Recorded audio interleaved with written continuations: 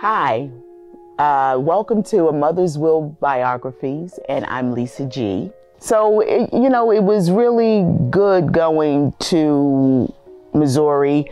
Um, it was exciting. Then we got to travel to do some more promo for this to California. And it was the same group of people, um, some new added, but we still had this kind of click. This was the AMW crew, you know. Again, I was there cooking, okay? I don't know why they think I could cook. but I did my best and we all had a great time. From the audition process to actually doing this, it's just a continual family reunion every time.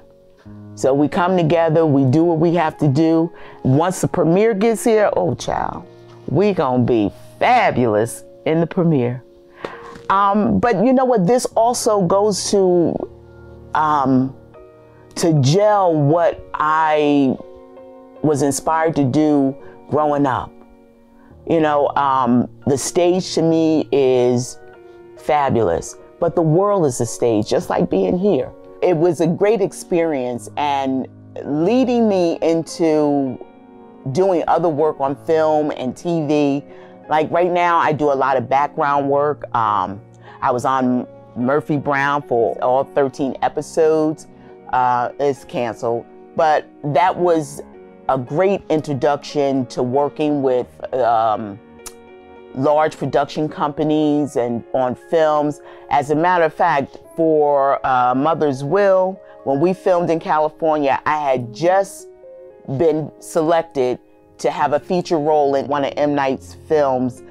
And like I told Erwin, you know, I turned down the big ducats, honey in order to do this film, but it was it was all worth it. It was all worth it because those things will come along again. And you know, working on Murphy Brown with um, all of the actors, Candice Bergen, you know, just working with that and and seeing the in workings of everything. You know, actors and actresses, they are human people.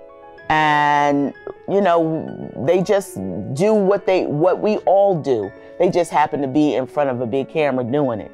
So those experiences are great you know. Um, i continue to reach out and do projects. I've been on so many different shows that probably at this time haven't re-upped only because of you know us being in the situation we're in right now with the covid-19 but you know what? It is what it is and we continue to work as artists.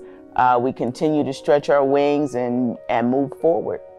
You know through this pandemic through covid because we're we weren't able to um, be on set and go and audition or um, be in person, you know, everybody was shut down.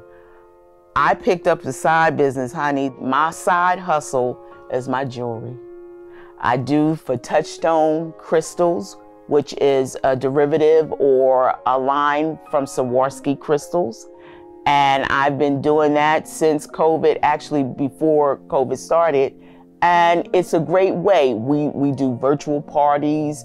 We do um, driveway parties, drive-by, backyard parties. And now that it's getting a little chilly, we'll do more virtual parties. But if you're interested in Touchstone Jewelry, you can go to www.touchstonecrystals.com forward slash Lisa G1.